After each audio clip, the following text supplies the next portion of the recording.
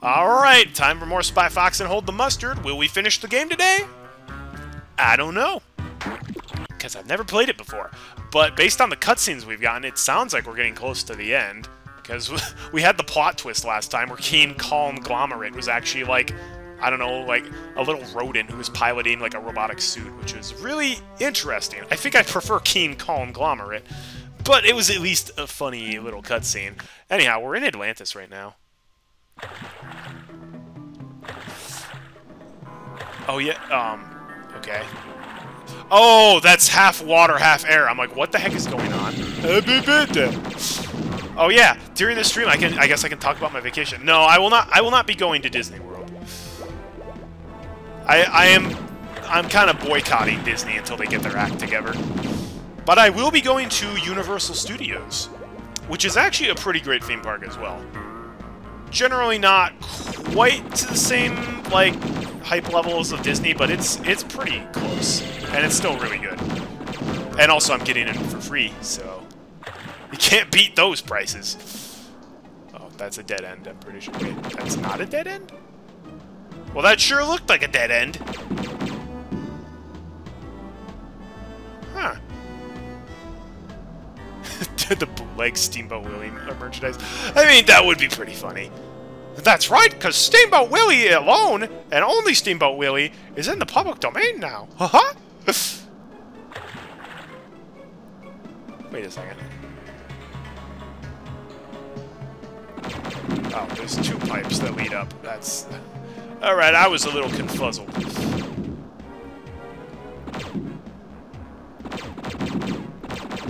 Shoot the guy. Shoot him, man! Bring out those massive weapons. We got this. Oh, you're going to Florida too? Very nice. Mostly we're going to Florida for slightly warmer weather and also to visit family. But there's still fun stuff there too. And also, uh, Chuy's.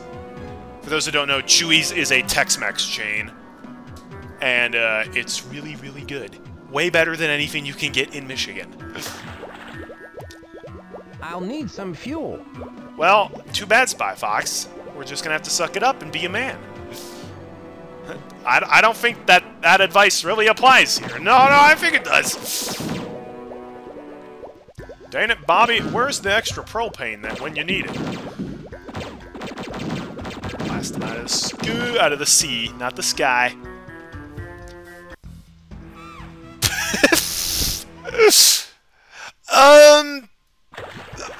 Promises, DX. I will take photos, but I will probably... Any photos I post, I will not be in. I'm sure my... Yeah, it's gonna it's gonna be me, my sister, my sister's fiance, and I think my older brother, who is the one who has never actually appeared in any of my videos, will be going to Universal. Maybe uh, my older brother's wife as well. Probably not, Actually, no, wait. He said he had five tickets. So somebody's going as well. Maybe my dad? I don't know. Well, I guess I'll figure it out when the day happens. Oh, maybe my nephew would... Maybe my nephew's going. That would be fun. There's one ride in Universal Islands of Adventure called Pterodon Flyers. It's like, I think the one ride my brother, who is like a big theme park geek, has not been on because there's a height limit. Not like you must be this tall to ride, but like a you have to be this short to ride unless you're a parent accompanying someone who's short and he's like, oh, all of us have been too tall to like go on it, but like with with his son, he actually will be able to. I don't know. It's gonna be fun though. But I'm get what I was trying to say before I got sidetracked with who was going.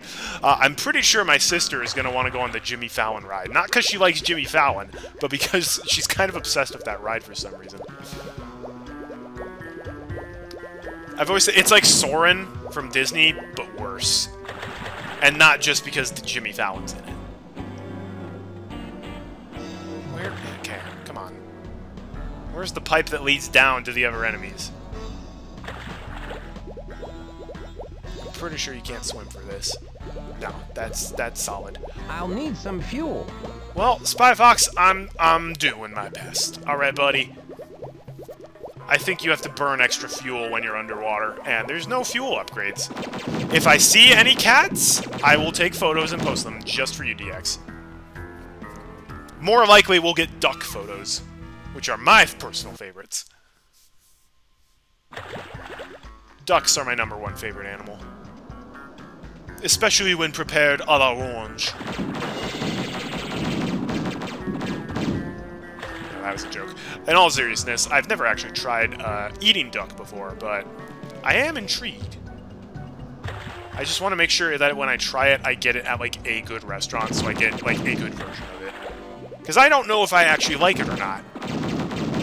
And I don't want to get duck at, like, a not great restaurant where it's not prepared properly and be like, I don't like duck. It's like, well, no, you just had a bad version of duck.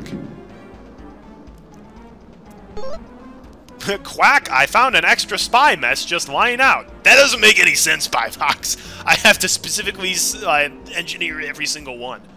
Well, I don't know what to tell you, but I found one.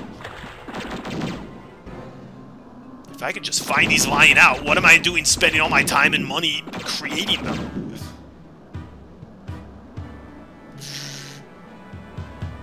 Yes, that's exactly what I mean, Metal Lord. It's like Race Through New York with Jimmy Fallon.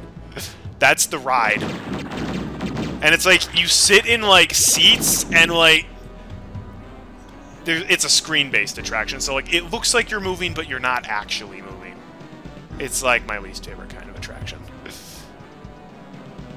It's also one of those attractions where it's like, oh, like, because there are 3D glasses that go along with it. That was, it was made back when, like, 3D glasses were, like, a huge thing and it's clear like so much of the stuff is just like, oh wow, that was put in just to for the 3D glasses effect. Where it's like, oh yeah, you're racing Jimmy Fallon through New York, and he's throwing pizzas at you, and they're coming out of the screen because 3D. It's like, ah, it's like at least Muppet Vision 3D was like blatantly shameless in that.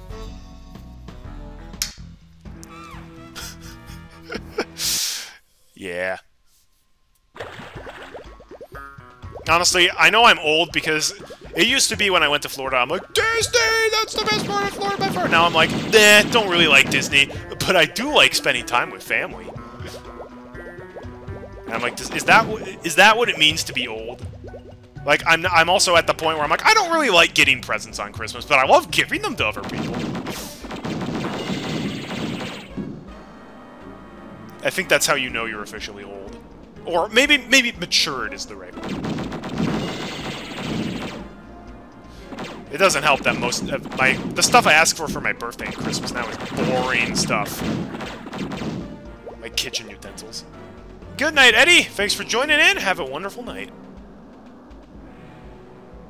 Uh, oh, uh, uh, oh no! We're almost out of health. No! Come on, man! If there's a 3D attraction, oh, oh no no no, little uh, Toon Cat, there are there are many 3D attractions basically every theme park you go to in Florida is going to have, like, 3D attractions. Except, except maybe, like, Gatorland.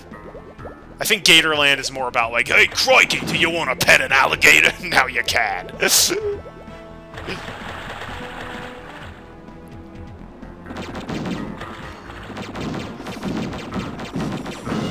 Florida's well known for its tourism, so... You get you get crazy things. you also get a mini golf course on like every block. There's some good mini golf courses in Florida though. And there are some really bad ones. Looking at you, Jungle Golf. on the on the uh, strip, located near Disney World, there's like a whole bunch of like touristy stuff. There's a really, really bad golf course called, uh, its, its full name is Wild Jungle Golf, but we always shorten it to Jungle Golf. And like, it's cheap, and like, you can play like there are two courses on it, so you can play like 36 holes for like way less than like a lot of the other like more premier mini golf courses.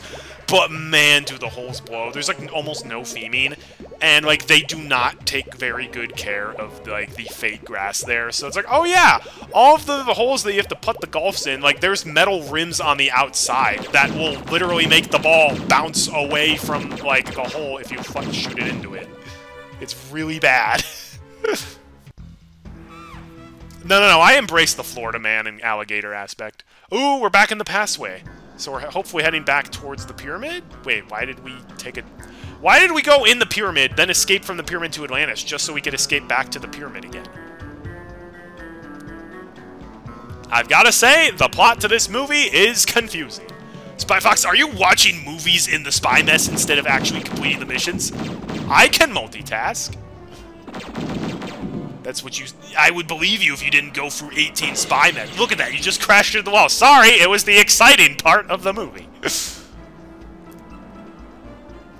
Goku was about to go Super Saiyan level 18. Spy Fox, have you ever even seen Naruto before? Well, that shows you how much anime I watch. Ouch! Spy Fox, we, we don't have any more backup spy messes. You better not mess this one up, Spy Fox. Oh, that's a funny... Dude, Spy Fox, I'm serious. Oh, alright.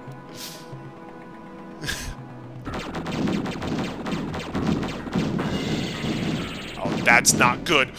Spy Fox, I told you to be careful and you immediately crashed into 18 enemies and you almost hit the wall. I'm sorry, they all mobbed me, and I can't shoot fast enough when the targets are too tiny. Sometimes it just doesn't register. Well, that's true. And, like, the older you get, the more you value family time. Especially because you come to the realization your family's not always going to be around. It's sad to think about, but it's true!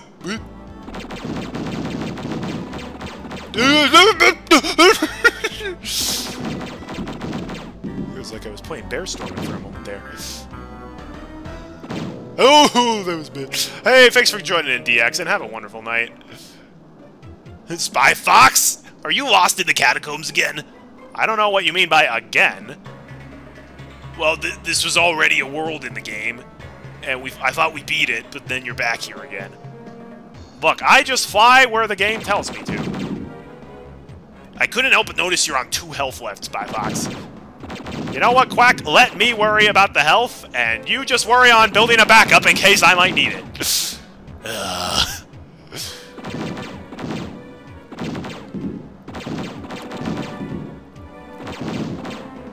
By the way, Quack, Quack, have you ever seen Crazy Rich Asians? Spy Fox, stop watching those movies!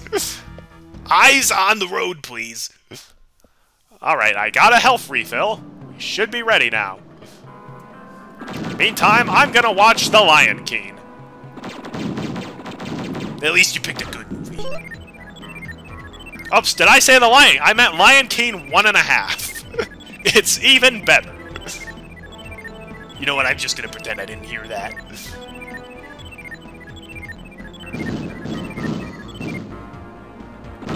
I'm glad the invincibility lasted long enough to kill, like, one group of enemies. no, I didn't want it for any more than that. No, that's fine. That's fine.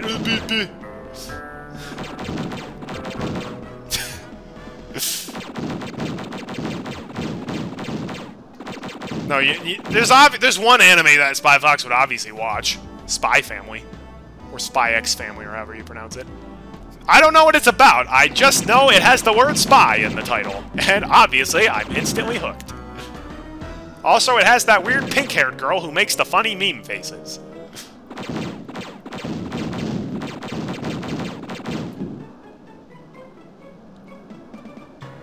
Uh-oh, we got to the end. Based, you love Lion King 1 and a half. You know what? As far as direct-to-DVD Disney sequels go, Lion King 1 and a half is really not that bad. It's no extremely goofy movie, but oh, oh ooh, ooh, oh, oh.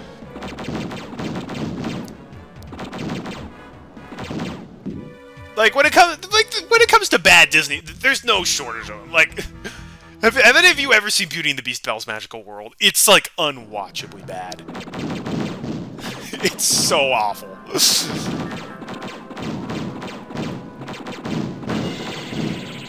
oh my no, my no, no.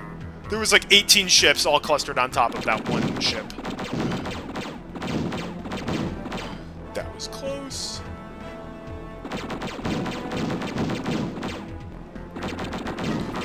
Yikes. Gotta aim better with the clicks. or Quack will have my goose cooked.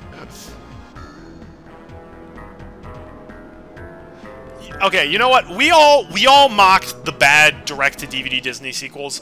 I would take a bad animated direct-to-DVD Disney sequel over a bad live-action Disney remake any day. Like, I long for the days where we had at least semi-original content. I say semi-original because, let's be real, some of them were just the first movie, but again, like uh, Jungle Book 2, or, uh, oh man, I shot the power-up. There were some other really blatantly, like, Aladdin Free was the GOAT. Aladdin Free was also one of the better Disney sequels as well. Excuse me? There is no way he could have squeezed through! I was aiming right in that direction, mass blasting in there. Unless there was like 18 ships on top of each other. It's okay, Spy Fox. Death's a slap on the wrist. It doesn't even reset your high score. Like, what's even the point of a life system if it doesn't reset your high score? Yeah, like, look, there must have been, like, 12 ships right there. Bruh. How?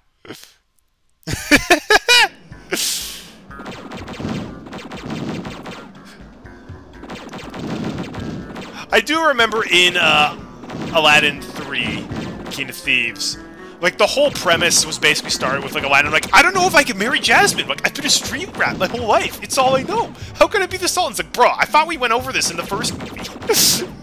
also, I thought Aladdin and Jasmine got married at the end of the first movie.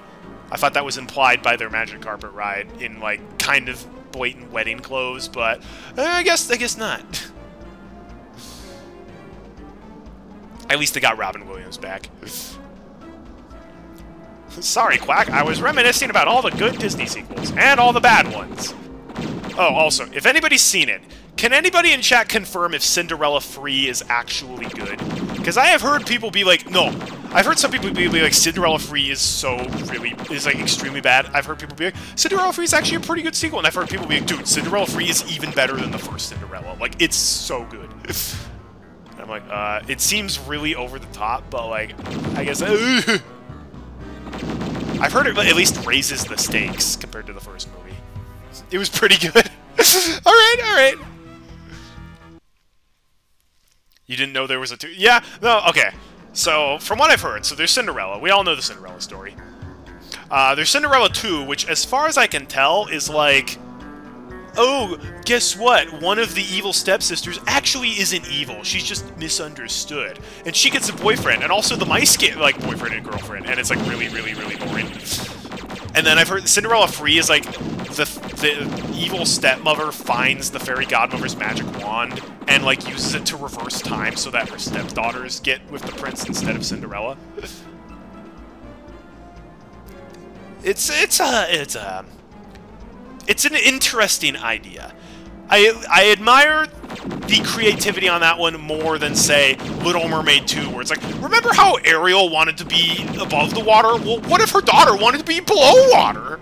It's like, this is literally just the same movie, you just reverse the premise, and it's not clever. It's like, oh, no, it's pretty clever. oh, also, the villain is literally just Ursula, but worse. Not in terms of morality, just in terms of entertainment value.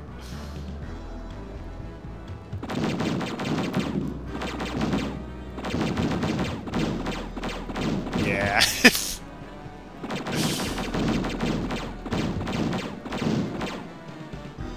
also, Lilo and Stitch had, I think, three sequels. Two of them were the first and last episodes of the TV show, but, like, still.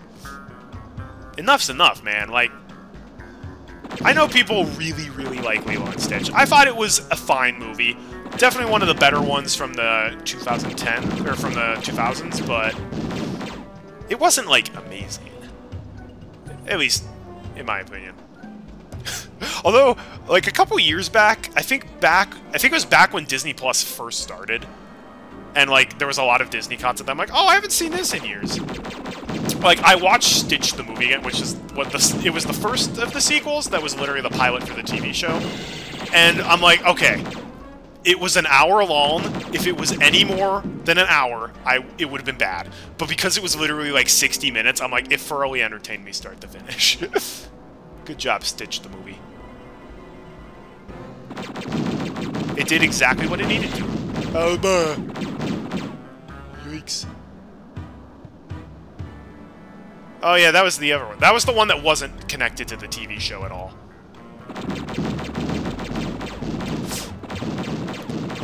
I also remember they did in, in Stitch as a glitch, they did the blatant like, oh no, Stitch died in the movie. That's like, no, he actually didn't. It was a fake death, but like it was even more blatant than the other ones because like when Disney does the fake out death, there's usually an explanation as to why it's not a real death. Not in that one. That one, it's like Stitch should have died, but he's back, and they're like, wait, how is that possible? It's like, it's not.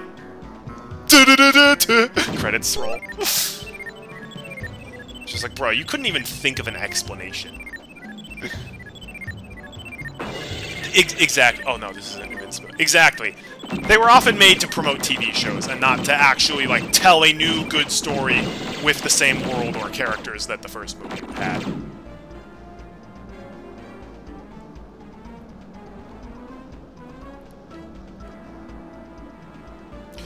Although you know, you know what's not on on uh, Disney Plus that absolutely should be House of Mouse. That show was goaded.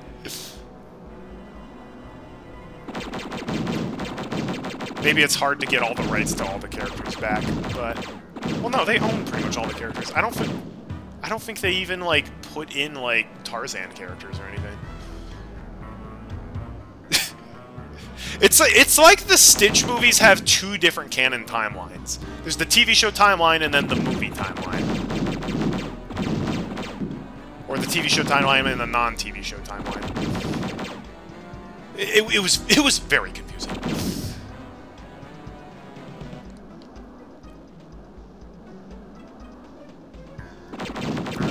Also, okay.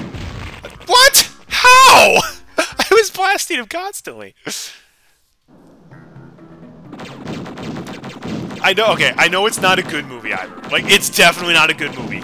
But a movie that I was entertained by pretty thoroughly was Kronk's New Groove. And, like, looking back, it was not good. Like, it's a pretty bad movie. But it's at least amusing.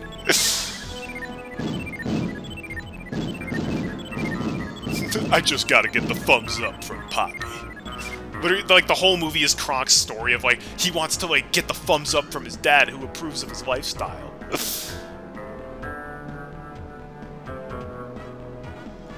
but it had, it had some genuinely Oh yeah, I remember that. Because, you know, there was one kid who crawled into a washing machine and died a tragic death, and they're like, we can't ever depict a child going into a washing machine again. It's like, okay, they didn't, like, lock her in. Well, okay, Nani trapped her in there in order to, like, confront her on some serious stuff. Sure. She wasn't, like, locking her in the washing machine, turning it on. That's, like, murder. Honestly, yeah. You want you want to fund a new Shrek movie with Steamboat Willie as a punching bag character in it? Yeah, because we need Shrek 5, because because the previous two were so good my impression. So I've only seen Shrek one and two. Both of those movies were were pretty good. Shrek 3, I've heard like everyone was just like, no, it's really bad. Shrek 4 is extremely polarizing, half the people being like, yep, it's just as bad as free, and half them being like, no, it's actually great. so, like, my brother saw... My brother used to work for, like, a, a lake where they would put on, like, a public lake in, like, the town and they would have like like Friday movie nights, so he would be paid to like, you know, like stand watch, make sure nothing like went down, and like I think sell refreshments. He's like, I got paid to watch Shrek 4, and I still felt ripped off. then again, he's not the biggest fan of the first two movies, so take that with a grain of salt.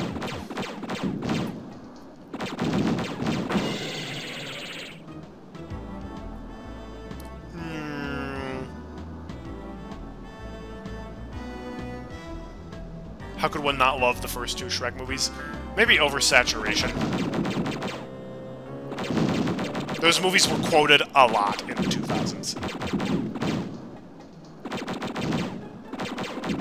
Also, uh, one of his close friends was, like, obsessed with the movie and probably quoted it too much. Oh, that's dead end. Ouch. Spy Fox, are you holding your podcast where you talk about weird animated movies while... Spy Fox, did you crash the last of the spy machine while you were listening to me talk? You distracted me! I was watching Shrek the Fourth. That's not even the name of the movie, Spy Fox. Man, how long is this passageway? You go in, you go out. Like, come, come on.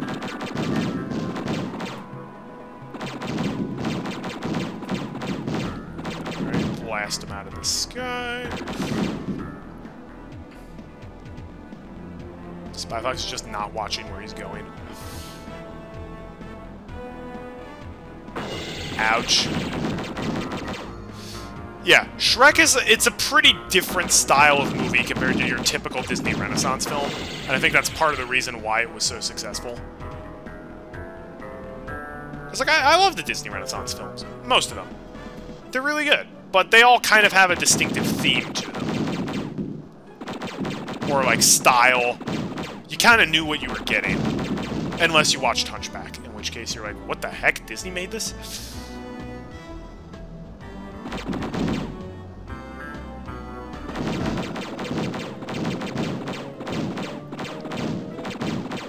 But hey, that era had some of the most goaded movies.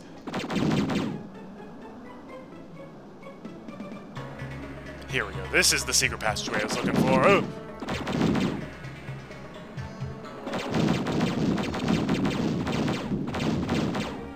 There we go. It is kind of amazing that, like, a lot of the Disney... Or how, like, literally one of Disney's most prominent, like, animators left... No, no, no. Literally two of the most prominent animators, like, in Disney left and started their own rival animation companies. I think I went the wrong way at the start. I've been told there are 100 levels in this game. Having said that, because they don't tell you what overall level you're on, just what level in the given world you're on, I don't know what level overall in the game this is. This could be level 80, it could be level 60, I don't really know.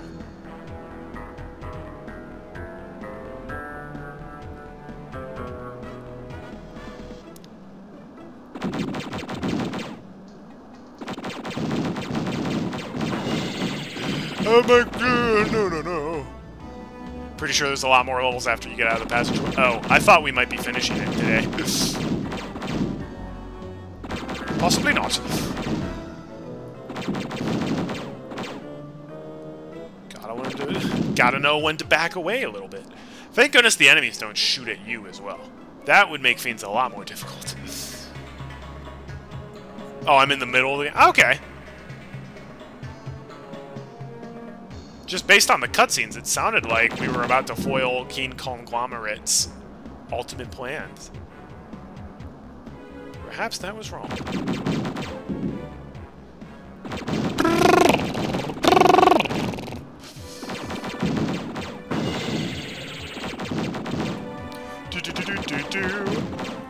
Mission complete.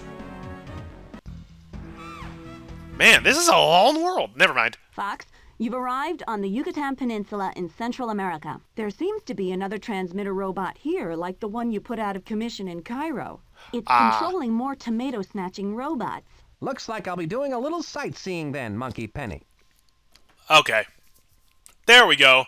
The Yucatan Peninsula. Wow. That's a mouthful. Alright. Well, I guess now that's a great spot as any to uh, end the stream. That actually kind of worked out perfectly. We're right around at the hour and a half mark. So that's pretty cool. Top search result for a full walkthrough on YouTube. It's close to five hours long. Alright, alright, alright. That's, that's fair. That's cool. That means we get to continue playing this uh, in February when I get back from vacation. and it gives me more time to think of something else to inevitably play when we uh, finish this game, but we're still playing backyard baseball. Alright, yeah, I'm going to sign off there. Thanks for watching, everybody. It was great chatting with you all, as always.